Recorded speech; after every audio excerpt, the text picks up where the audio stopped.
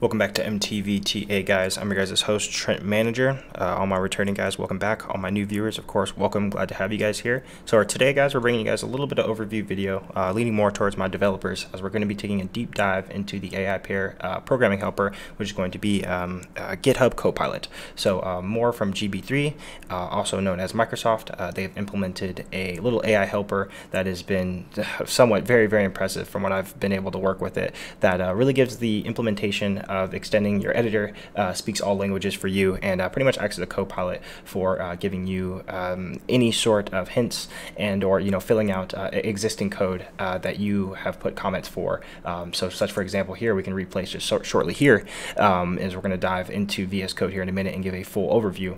Um, but just for example, uh, let me just throw a quick one out there. So in the Solidity language, um, how this would definitely be helpful for um, not only just people in the Solidity area, but also Python, JavaScript, and C Sharp as well is that um, programming a uh, enum function um, instead of uh, having to you know state your waiting, ready, and active. So what you can do, um, or at least what Copilot can do, is that it's going to state uh, your your constructors and your functions and give you kind of a a rough outline for if this is what you want to write, and really can save you uh, the amount of time that you're spending on documents. And of course, uh, instead of going to Stack Overflow and doing all these Google searches, um, this really does seem like you have a really uh, great Copilot right next to you, giving you ideas and or recommendations for um, how to execute some of these um, uh, some of these projects. So uh, just in a second here, we're going to be diving into VS Code, and we're going to actually be doing some live examples so you can see how this thing actually is um, is generating these answers and overall helping you know continue to keep your project on task. For to VS Studio Code, first we're going to see the GitHub Copilot add-on. So depending on when your sign up date is, I'm not sure if this is rolled out to everybody just yet,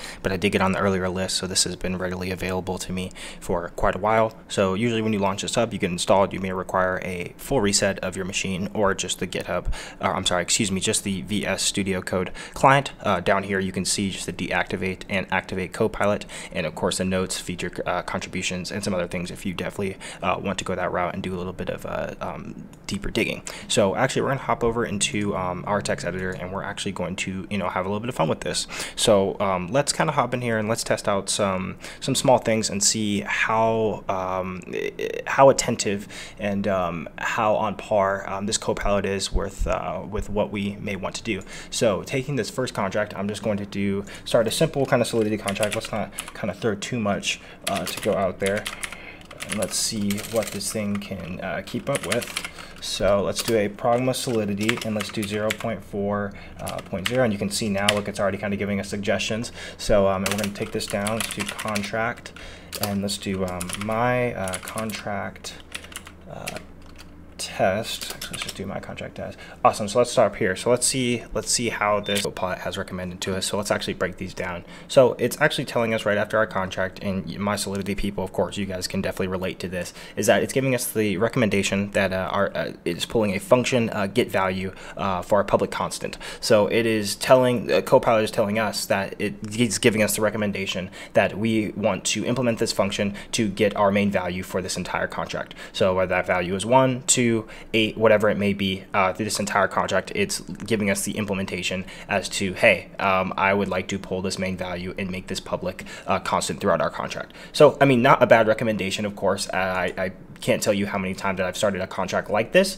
but um, it's probably well over 35%. So actually, this is not what we want to do. So actually, we, what we can do here is what you can see here is that you can do the accept uh, tab here, and you can accept this um, this recommendation. So if we just click tab, it's going to implement that for us. So write that exactly how it is, so saving you a ton of time. And so if we actually end up undoing that, we can actually pass that. So going uh, to the right now, we can actually open in Copilot, uh, which is a whole different browser, which where it kind of has its own little IDE remix, which is kind of cool, uh, which I found super useful. But we're just going to stay in the studio code just for simplicity purposes. Um, and also going over to the next and uh, previous recommendation, so you can actually cycle through uh, previous and next recommendation. It gives you uh, multiple layouts as to you know possibly what your idea could be. So I think that is um, something very, very interesting and something really, really cool uh, to save you a ton of time. So actually, this is not what we are trying to do uh, for this contract. So we are going to continue and see uh, how this does. So what we're going to be trying to implement here is we're going to be doing an enum state, and it's going to be the uh, the order of waiting, ready, and active. So just like you would kind of see in a backend overstack of you know dexes. So you know you sending your transaction, uh, you're waiting for the confirmation of the block time, and then you could go from ready. So all your block time, uh, all your block stamps are compromised, and then active in terming of let's say active being uh, the money has now settled into your account. Just for the terms of a blockchain developer, just to make it a little bit easier on myself and those who are kind of already in the space. So um, what we want to do here is actually we're going to continue. So let's implement our enum state and um, let's see what recommendations it actually does give us, if it does give us any at all. So we're going to be putting in our recommendations of waiting. Sorry guys. Oh man, typing is going rough today. Uh, waiting, and then we're going to go ready. And then we are going to go after that. See, as you guys can see, it's kind of already giving us recommendations for um, uh, for really what we want here. See, and it's giving us the activation finish. So we're actually just going to um, to stick with this right now, and we're going to continue. So let's see how well it does. State. Um, we're actually going to define that public. So still good recommendation and state, and then close curly braces. So um, and then let's actually continue this. Go down. Let's go to our constructor and let's see what it gives us recommendation. So actually, you know, now, we're getting onto our constructor function. This is um, this is this is pretty good. This is what I was honestly going to write. Uh, we are going to make our constructor public, so it's public to everybody on the blockchain. It's going to state that we are continually waiting, uh, giving us that indication that we need to go in that order um, before uh, before things are executed. So um, where we're sitting at now, I mean, it's given us a pretty good overall um, for us shortcuts. And I mean, really where I think this is going to be utilized the best is not only for you know, this isn't going to write your entire project for you, but in terms of really saving you time and just overall how you want to approach, um, you know, the project at hand, um, I, I, definitely believe that this is something that is very, very useful. And um, as we continue to move forward, um, I'm going to go over some further examples, and we're going to jump into the IDE remix uh, to uh, show, um, you know, how correct and how secure this code is. Of course, you know, there uh, you would always want to review uh, your, your everything that you wrote, but you know, just right off the bat, I'd love to see how secure and how fun, you know how functional some of these uh, some of these scripts are. So hopping back into um, GitHub's Copilot here, we can see on the right hand side we have the Copilot open. So now let me go over pros and cons as to you know how this is going to be you know really utilized from you know full form project code to you know of course just learning and kind of giving some rough ideas. So starting off with my pros and cons, um, you can see that we have a list of solutions here, uh, about 10 out of 10 solutions, um, all contributing to you know different outputs as to you know what our project, uh, or I'm sorry for what uh, we could be looking for in our project. So um, from my view, uh, they're a little bit all over the place, but in terms of starting points as to where you can start um, with with any one of these solution codes on the side, you can see how you know that could be a very good starting point for you. But in terms of this thing pushing out, you know, production grade code in terms of finalization, um, I, I, I, don't think uh, we are exactly there yet. So on with GitHub Copilot, um, pros and cons, I'm overall very satisfied uh, with how this application functions uh, from day to day. Uh, it is not perfect. Uh, pros and cons, of course, surface in every single um, new piece of technology that comes around. But um, overall, in terms of the utilization from group projects and single projects, this is be beyond beneficial. Um, not only is this giving you ideal solutions as to you know which route you can go, but also giving uh, some sort of external thought as well for you know possibly some things that you may have not thought about um, moving forward. Actually, so do not leave just yet. We're actually going to be doing a deeper dive into uh, the background, the truth about AI programming. Uh, this is not anything new. Um, we've known this for you know several years now. As to you know back in 2008, this has uh, kind of been something that's been on the rise in implementation as AI machine learning has increased. Also, we are going to be going over kind of just at the end here uh, Protocol 4 as to how uh, when that does come along and as we continue to move in the direction that we are, that of course that code would possibly be um, infrastructure ready uh, as like as the examples that we have discussed here today. So stick around. I will see you guys just here in the next part before we wrap up. That we used in Visual Studio Code with the help of GitHub Copilot and put that into Remix and see how it actually did end up functioning. So we ended up did passing the deployment stage, which is always a green thumbs up. And now what we can do is we're going to deploy this contract onto the blockchain. So when we do hit deploy, uh, we have three buttons on the side, which is going to be our activate, is active, in our state. So like we talked about at the beginning, uh, we did our enum paraphrases, which is going to be um, our state of the enum, which would be waiting, ready, and active. So kind of the way you would implement this in the real world and how this would be really put in a real life contract is that uh, think about the way that you would, um, you know, you pay for your Bitcoin or your Ethereum. So you would go through the waiting stage, which would be the processing stage of your uh, your funds, and then your ready stage would be the block stamp confirmations, um, you know, for your funds to be settled, and then activate would be the active as to letting the platform know, third party or not, that your funds are ready to go and that they have been authenticated. So if we look over to the right here, um, we can easily play around with this. Um, we have our call data uh, button at the at the bottom as well. So what we can do is that we can click is active and is, and, and is active should bring us false um, just because we have not activated our, um, our, our function to let us the contract know that this is true. So it, the bool is going to be stating us false, which is what we want. And then we, what we can do is click state, and state should also be bringing us zero because we have not activated this contract for any sort of functionality at all. But actually now, if we do go back to activate, now we get another green check mark, which will be implemented uh, to the left here um, which should be giving us the now is active, which should be switching to true, like we just saw right here. So this is kind of just a little play out as to, you know, what the contract, you know, did, but also, and getting back to the main topic as to what GitHub Copilot did is that, you know, I mean, it did implement us a successful contract. So hopping into our closing section, uh, the truth behind AI programming. So as I talked about earlier, um, this was nothing particularly new, and we're going to be going through some quick examples and facts as to kind of the background as to how uh, GitHub Copilot came to be, and just some overall facts and information that I think are going to be really, really helpful. So hopping into just 2008, like we discussed, uh, this is nothing new as the terms of tech giants such as IBM, uh, Microsoft, and Intel have been developing developer resources uh, to contain, you know, AI algorithms uh, for quite a while now. So what we have here is just we saw the buyout of Stack Overflow for 1.8 billion dollars. This was about in 2019, I believe. Of course, I'm going to have all these links in the description for you guys to to check out. Um, weeks before actually, actually, excuse me, weeks after this, uh, GDP actually ends up emerging. So, you know, you can kind of see how the two and two kind of played in the hand here. You have uh, Stack Overflow, one of the best uh, free utilizations for developers around the world to collaborate with one another besides GitHub. And then you have GP3 kind of enter as um, Stack Overflow is bought out. So you can kind of just see uh, the correlation between a lot of these bigger tech giants as um, they continue to move forward, just like we are uh, as single developers. So going over to the next slide, uh, since the information is free, Microsoft can utilize the open source GitHub repos and algorithmic ideas for themselves. So the, G the GP3 model, we're actually going to go through, just hop over here in a second. Uh, I'm going to have this link, uh, link below as well, uh, just because this is a lot to cover, but you can kind of just the input and output prompt. You can see how uh, things are navigated on the GP3 uh, in terms of the output. Um, as I keep scrolling down, you're going to see a lot more in depth as to how this algorithmic, algorithmic code um, and uh, um, kind of puts together and outputs all these functions. And we're going to be talking about these parameters here in uh, just a minute.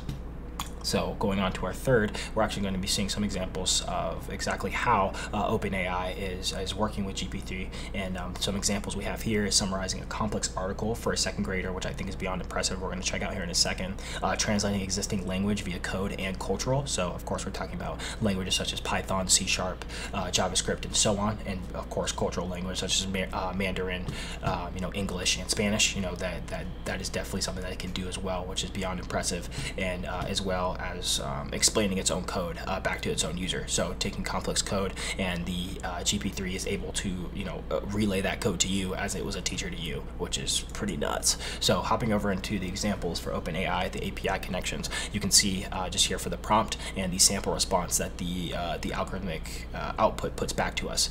so you can just read that here for a second. I'm going to have all these links below for you guys to check out. Um, moving on with that, now we're kind of kind of beginning into the um, into the neural networks and kind of how uh, this is really going to play out through some visual images. So you can see on the left here the unsupervised pre-training that we have between the GP3 and the uh, the GP3 through the uh, unsupervised pre-training is that you have about 175 billion parameters um, of value of how these algorithms al- algorithms are taking uh, these open source software and running them through these intense uh, tests and you know outputting such as an example like we saw uh, today. So uh, how we saw in uh, the VS Studio code how um, the Copilot was able to not only take GitHub repos from open source but also from its own existing database and uh, output those. That's exactly what we saw. So even on the left here, um, continuing on the right, we see the simple neural the simple neural network as to how um, you know these algorithms are coded together. Um, this has been tested uh, by the parameters, as you can see, for a very, very long time. And uh, this is something that, you know, this is only you get outputs. The, the, the, only outputs you get, such as this, are, you know, testing between, um, you know, this amount of parameters. So just even give that an example of how many parameters that really is and the testing and the overall network that that has to go through. Uh, you're seeing right here is 175 billion parameters. And of course, there are other, um, there, there are other algorithmic platforms out there that utilize the same thing, but you can see the gap between the 13 billion and the 175. I mean, granted, let's talk about just the huge gap that you have here. You're not even breaking 20, and this is sitting at 175. So uh, you can kind of see the disproportion that we have here between the GP3, uh, the GP3, and pretty much every other algorithmic code um, situation that we have currently available. So even going over to OpenAI, we're kind of going to wrap up here just in a second. Uh, we're going to be talking about how uh, the nonprofits, uh, OpenAI was nonprofit in 2015. Uh, the 2019 1 billion investment from Microsoft was around September 2020. Um, OpenAI shifts from nonprofit to capped profit uh, with investors such as Elon Musk, uh, Sam Bankman-Fried, I believe, as well in the crypto space, and plenty other really big tech and fintech enthusiasts. Um, moving on forward, we have Microsoft um, not being well, technically, Microsoft does not control OpenAI, but with large investments, they kind of do. Um, but this is also something to keep note that Microsoft exclusively uses GP3, of course, for themselves, but of course, every enterprise and other companies can utilize those API connections and be made and utilized on projects. But when it really boils down to it, who has really control over uh, GP3 is going to be Microsoft and how they can utilize those uh, databases of their own uh, and you know moving forward for their existing projects. So it, it may seem it, it is free, but in terms of what Microsoft really owns, they technically do have all the secret rights in terms of you know the real uh, database that they they constructed. So um, that being said, uh, Microsoft essentially has the best slash overall um, best algorithmic system for producing projects uh, that no one else really has right now, um, unless someone else can match right now, uh, unless someone else can match uh, GB3, uh, GPT-3, or of course make a better solution. Um, and now moving on to some fun here, we can kind of just see uh, kind of some steps uh, that we've had in the past in terms of Microsoft hasn't always been the best uh, for catering to developer needs. It wasn't always as good, um, but we've seen over the years, uh, as we've seen with GitHub Copilot, um, even just GitHub in general, we've seen the remake that Microsoft has done, uh, especially with VS Code as well, being able to airdrop your respiratories uh, right into your Visual Studio Code, Visual Studio Code, being able to connect to GitHub with external cloud devices on laptops for even better transferring. Um, the developer kind of whole ring has came around uh, as Microsoft really has catered more to their developers and making their job a lot easier and um, more secure. So uh, what we see here is that we see the embrace, extend, and extinguish. So if you've kind of known about this, this is something that uh, it's been kind of tossed around for a little while. But you know the embrace is you know the big hugs from mom and pops, and then we see the extension, uh, the extension to be able to help those individuals you know succeed, and then we have the extinguish, which is the um, pretty much to squash out, you know, pretty much tossing you to the side and saying, hey, this is all we need from you. So developers are expensive, scarce, and can you know of course make errors as every human does. So with that being said, we can definitely have some fun of how um, developers can be replaced in the real world as this uh, machine learning and these algorithms become pure and much, much better as we move forward. So something that would look like, like this, just for just some quick examples, uh, we can have developers share code to database. Awesome. Uh, build, uh, build an AI with that data, of course, like we've seen. Uh, reinforcement with the AI with developers. So developers, will, of course, go back, check the algorithmic um, codes that like, like we just did, even though Copilot gave us recommendations. We did not take all those recommendations, and, and instead we actually did end up uh, fixing it. But then, of course, what did we do? We helped the algorithm become more accustomed to how we work and how we're going to work moving forward. And of course, uh, replace developers with the AI is the final point. Um, we've seen in the past and also in the more near future, of course, that we've seen CodeGuru for AWS be extremely helpful for implementing changes and um, pretty much act is what Copilot is doing just now. Um, in terms of right now, Copilot is free, but uh, we've seen not only, of course, with AWS and other, you know, kind of platforms that they are implementing paid uh, paid sections for um, for these services. Of course, that's not a service I would really mind paying for. I would definitely not have an issue paying for that at all, as it you know, like I said, I, I listed my pros and cons earlier. So um, just kind of some fun here that I wanted to have. Uh, if currently we are at stage three, if we're actually going to kind of put this in the real terms, uh, we are in the re reinforce the AI with developer section. So kind of just get your heads turning, kind of see what uh, what the future is pretty much going to be holding moving forward. But thank you guys so much for tuning in. I really appreciate it. I hope you guys got some value from this. Uh, don't forget to like and subscribe and share this with friends or family. Alrighty, bye bye.